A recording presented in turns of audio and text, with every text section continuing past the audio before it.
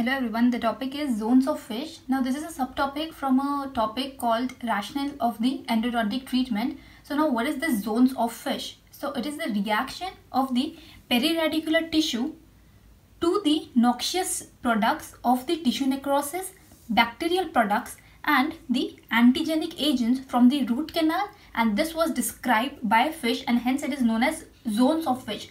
So basically this is how the body reacts and how there is formation of some periradicular pathosis that can be your cyst or abscess or granuloma. So this is nothing but the reaction of the periradicular tissue to all the noxious stimuli or the bacterial product or the antigenic product. So that means when you have caries, so that means it has those bacteria which is present. So that bacteria, it travels through this root canal and then it goes in the periradicular space through the apical foramen. So how your periradicular space, it like react to this bacteria or this antigenic product. So this was described by the fish. So what he basically did was he established the experimental foci of infection in the jaws of guinea pigs by drilling openings in the bone and then packing them with the wool fibers which were saturated by the microorganism. So by that he got like basically four well defined zones that are the zone of infection, zone of contamination, zone of irritation and zone of stimulation. So these were the four zones and this is a very commonly asked SAQ. So zone of infection. So it is characterized by the polymorphonucleus leukocytes.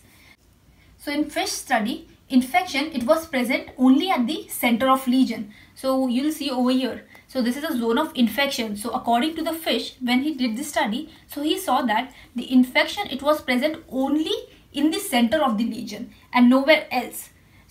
So that means the microorganisms are present only in that lesion. Now where there is infection, so that means there is microorganisms in that area only. So this is the zone of infection as the name says.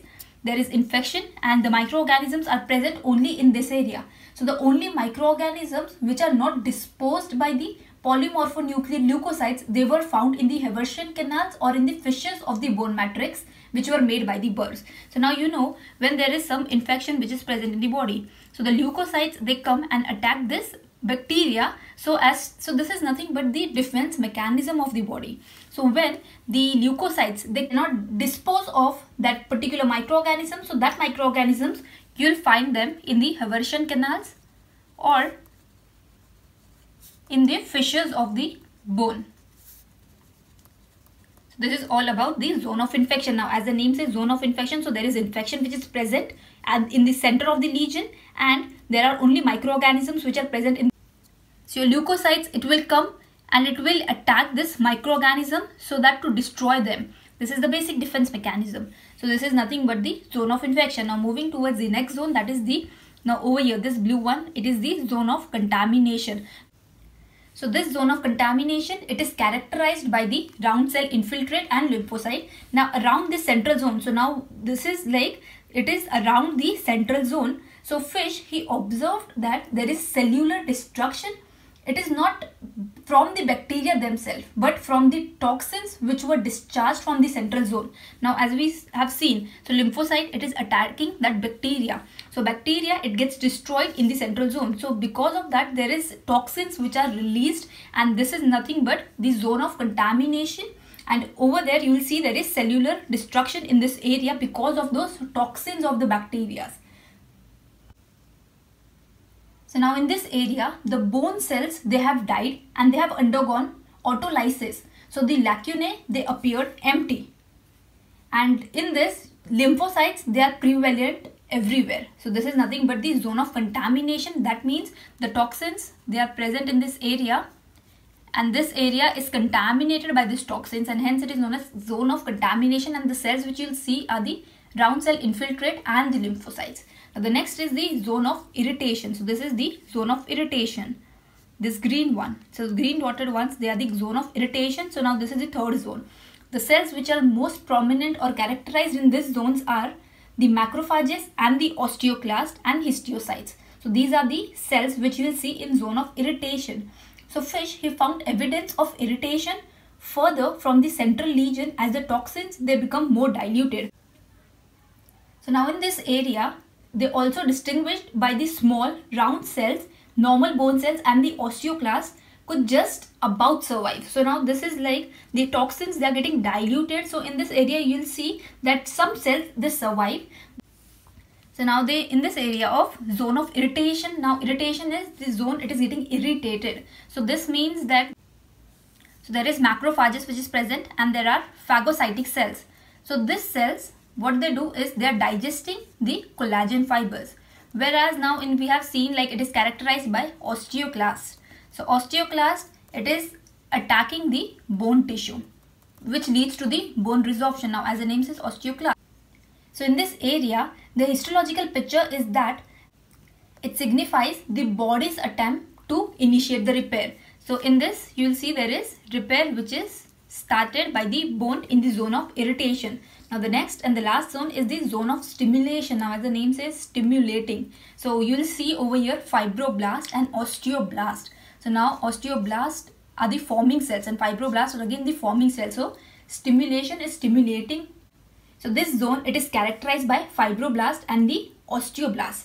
So at the periphery, so over here now this is the periphery. So fish he noted that the toxins they were mild. So now as the toxins which were released by the central, so it were more over here. It got diluted in the next zone and over here it is the mildest which is present. So because of that they were enough to cause the stimulation.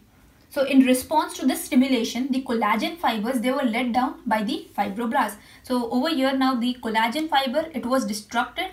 In the stimulation, now this collagen fiber, it starts forming now as a wall of defense around the zone of irritation and a scaffolding one on which the osteoblast, they form the new bone. So this osteoblast, it forms the new bone and the fibroblast it forms the new collagen fiber as the defense mechanism. So over here now this new bone it was built in the irregular fashion. So these are the zones of fish. So first is the infection so where you will see leukocytes which are present. The next is the contamination zone where you will see round cells infiltrate and lymphocytes. Then the zone of irritation where you will see the osteoclast and the phagocytic and macrophage cells then the zone of stimulation where you are stimulating so because of that you will see fibroblast and osteoblast over there so now we can apply this knowledge which we have gained in this fish experiment to understand better the reaction of the periradicular tissue to the pulpless tooth so the root canal it is the main site of infection so now over here your root canal it was the main site of infection because of this only the toxins or the bacteria it is going to this periradicular space. So the microorganisms in the root canal, they are rarely motile. So this microorganisms, they are rarely motile. It's not like this microorganisms, they go on themselves and they go in this periradicular space to produce this periradicular pathosis.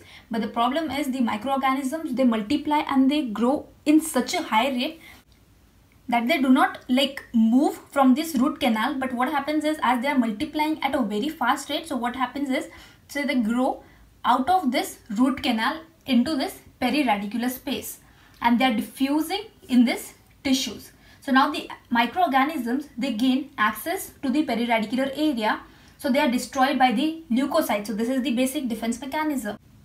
So when the microorganisms they are sufficiently virulent or when they are enough to present that they overwhelm the defensive mechanism so at that time there is the formation of the periradicular like infection so basically now we have seen there is defense mechanism. So this PMNs and they fight against the bacteria.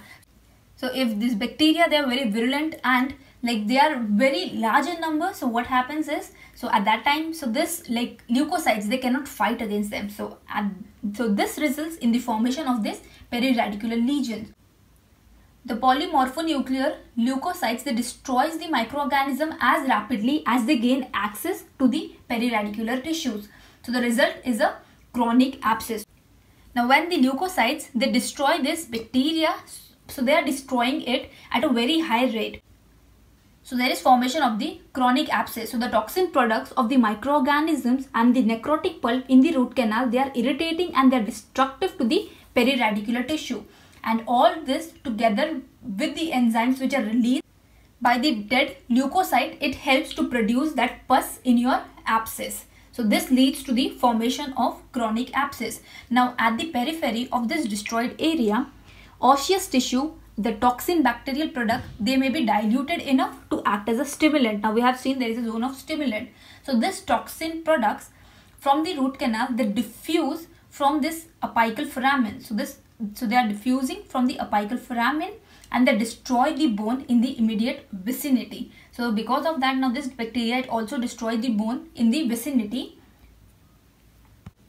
So now this like the toxins they are so diluted that they act as a stimulant and this results in the formation of granuloma.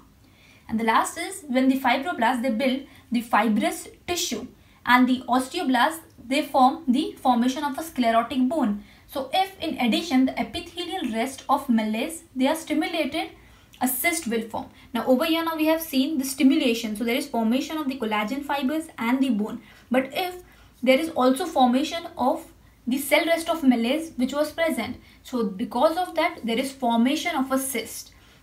So this is how the body it reacts to like microorganisms and bacteria and the toxins and because of that there is formation of the abscess or granuloma or cyst.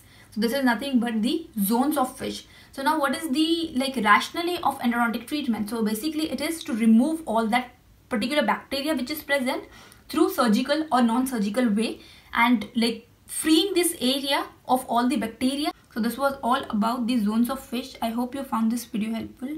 Thank you so much.